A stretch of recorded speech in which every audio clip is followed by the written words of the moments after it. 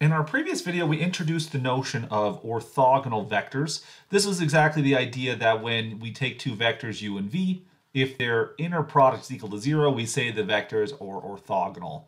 And I try to make a geometric connection between this algebraic notion of orthogonality with the geometric notion of perpendicularity, that is the right angles and such. And I want to kind of explain how this can be useful in constructing hyperplanes in our vector space. Uh, so for example, let's imagine we're in R3 for a moment. This is a vector space we know and love very well. And perhaps we're trying to describe some plane in R3. Now, the way we usually been doing it is the following. We pick our favorite point on the plane, maybe call it x naught here, which it's a point in the plane if you want to think of it as like an arrow, right? It's an arrow pointing to this point in the plane, but there's really not much benefit of distinguishing between these arrows and the points. So we have a point which is in the plane and it's a vector, we'll call it x naught. And then we define the we then define the plane using these spanning vectors u and v so that a generic vector x is just equal to x naught plus something times the first vector plus something times the second vector. So we get these like linear combinations of the spanners, and this gives us a plane in R2. Now a plane in R2 is also a hyperplane, and it turns out we can describe it, instead of using two planars, we can actually describe it using a so-called normal vector, a vector which is orthogonal to every point in the plane. And so geometrically speaking, our normal vector is going to look something like this.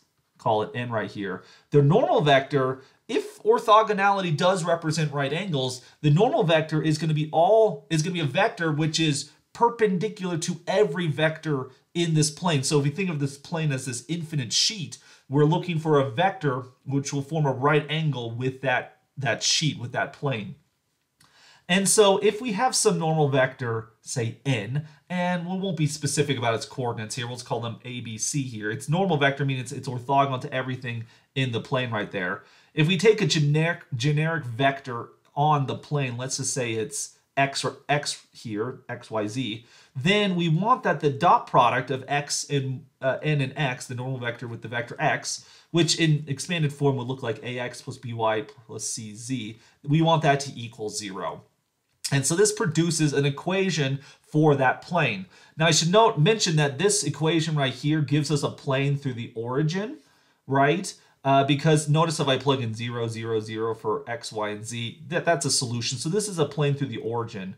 Um, if we want to, if we don't necessarily want the plane to go through the origin, but we want it to go through this point x naught, we can replace the vector x, the, the vector x right here with instead x minus x naught. And so then we come and look at this equation right here. This is the so-called uh, point normal form of the plane, the point normal form. And that's because it has built into it a point which is on the plane and the normal vector. If we expand this point normal form out, well, by properties of the inner product, you can distribute the n across the division there. And given that this thing right here is just, it's going to be x minus a particular value, uh, it'll expand to be something like the following. You get a times x minus x naught plus b times y minus y naught plus c times z minus z naught, where x naught, y naught, and z naught are the coordinates of a specific point on the plane. x, y, and z are then variables, and a, b, c are specific numbers, specific coefficients. And so when you then distribute the a's here, you're going to get ax minus ax naught, you're going to get a by uh, minus by naught. You're going to get a cz minus cz naught, uh, for which you're going to get an ax plus a by plus a cz. Now notice that the when you distribute the a onto these constants, as a, b, c are constants and x naught, y naught, z naught are constants, you can combine all those terms together and move it to the other side, and you're going to get some constant, which we're going to call d right now. And therefore, this right here, this equation right here is what we typically see as a generic equation of a plane inside of R3, uh, where you just choose X or A, B, C, D.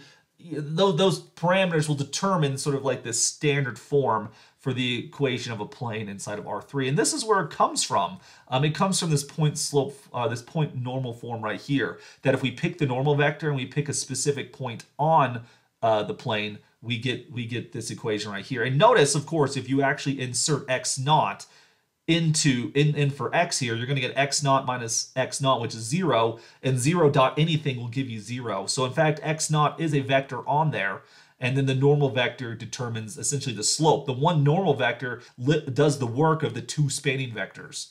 And so let's look at an example of such a thing right here, that if we have, if we want to construct a plane in R3, which contains the point 4, negative 5, 0, and is perpendicular to 3, 5, negative 2. Perpendicular here suggesting we, this is the normal vector in play here.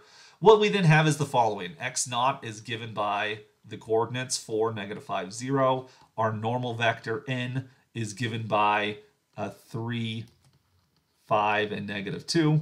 And so using the point normal form, we're going to get n times x minus x naught this should equal 0. And then expanding it out, we should get 3 times x minus 4 plus 5 times y plus 5. Notice a negative uh, minus negative 5 is the plus 5. And then lastly, we're going to get uh, negative 2 times z minus 0. This should equal 0. And so then we just have to work to sort of simplify this thing, distribute things through. We get 3x minus 12 uh, we're going to get 5y plus 25, and then we're going to get negative 2z equals 0. Uh, 25 take away 12 is 13, and when you move that to the side, you get 3x plus 5y minus 2z equals negative 13. And this would then give us an equation for that plane in R3. Now, this, this idea here of constructing planes using normal vectors, this can be generalized to any dimension whatsoever. If we just want to talk about a hyperplane, a hyperplane, say, in Fn, then we can describe a hyperplane using a single normal vector and a single point on the plane. We just need uh, uh, on the hyperplane. We just need a point and we have need a, a normal vector, and that describes the entire hyperplane.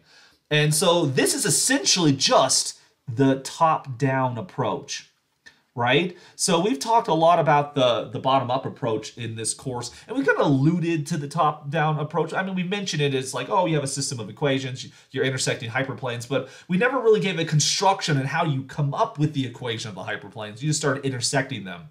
Well, the top-down approach is going to describe uh, it's going to describe hyperplanes using normal vectors, and then you start intersecting as you start intersecting those hyperplanes, you're basically joining together the normal vectors.